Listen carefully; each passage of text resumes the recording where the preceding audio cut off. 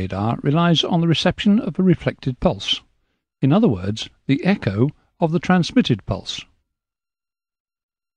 Primary radar relies on the reception of a reflected pulse. In other words, the echo of the transmitted pulse. Secondary radar, on the other hand, receives pulses transmitted by the target in response to interrogation pulses. Secondary surveillance radar is one of several types of secondary radar system.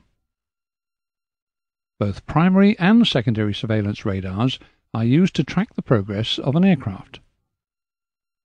Primary radar provides better bearing and range information of an aircraft than SSR, but its biggest disadvantage is the lack of positive individual aircraft identification. This is required for safe operations by air traffic control, particularly in crowded airspace. Primary radars also require higher transmitter power outputs for the two-way journey of the single pulses. Secondary surveillance radar requires an aircraft to be fitted with a transmitter receiver, called a transponder.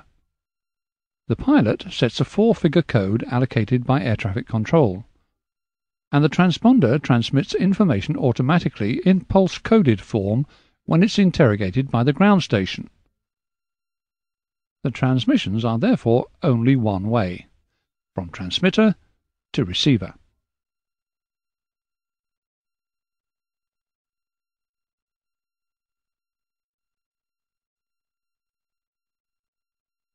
The ground station transmits and interrogates on 1030 MHz and receives on 1090 MHz.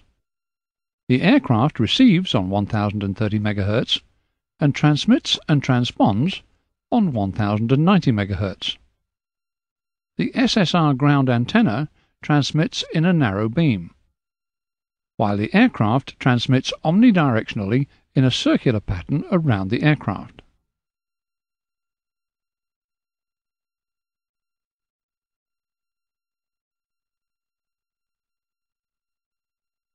A typical aircraft transponder control unit is shown here. The aircraft is interrogated from the ground station by a predetermined series of pulses on the carrier frequency of 1030 MHz. The aircraft transponder then transmits a coded reply on a carrier frequency of 1090 MHz. There are two main modes of operation. The on position selects mode alpha, which is an interrogation to identify an aircraft. The Alt position selects mode Charlie, which is an interrogation to obtain an automatic height readout of an aircraft. To achieve this, the aircraft must not only have a transponder with mode Charlie, but also a special altimeter which can pass information to the transponder. The ident button is used, normally at the request of air traffic control, to facilitate quick identification of the aircraft. When pressed, it produces a distinctive display so that the controller can pick out the aircraft easily from a crowded radar screen.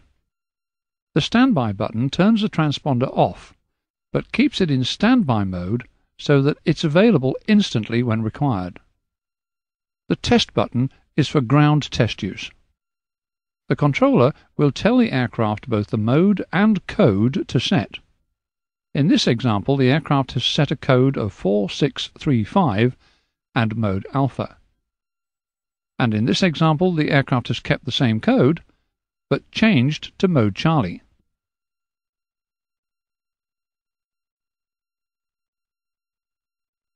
By international agreement, some codes are reserved for special purposes and should be selected as follows. 7700 indicates an emergency condition. This code should be selected as soon as is practicable after declaring an emergency situation. However, if the aircraft is already transmitting a discrete code and also receiving an air traffic service, that code may be retained at the discretion of either the pilot or controller. 7600 indicates a radio failure. 7500 indicates unlawful interference with the planned operation of the flight. In other words, a hijack. 2000 provides recognition of an aircraft which has not received any instructions from air traffic control units to operate the transponder. For example, when entering the United Kingdom airspace from an adjacent region where the operation of transponders has not been required. Mode Charlie should be operated with all of the above codes.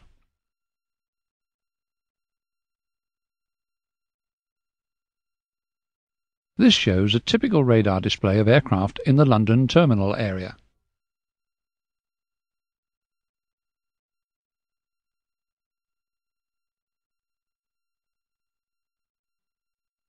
SSR has the following advantages over primary radar.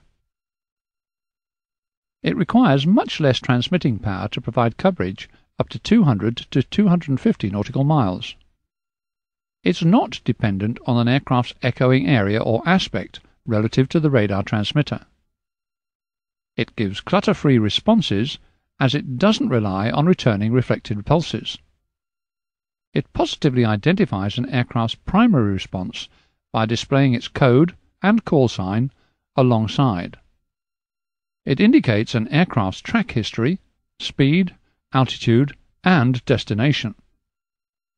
It can indicate on a controller's screen that an aircraft has an emergency, has lost radio communications, or is being hijacked. Thus, when SSR is used in conjunction with primary radar, the advantages of both systems are realized.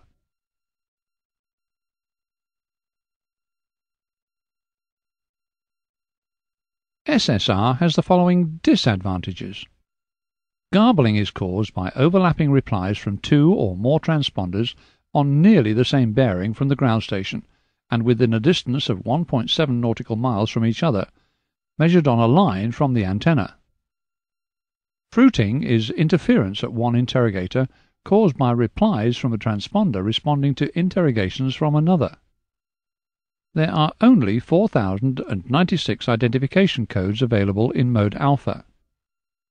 Ghost targets which are due to reflections from obstacles or high terrain.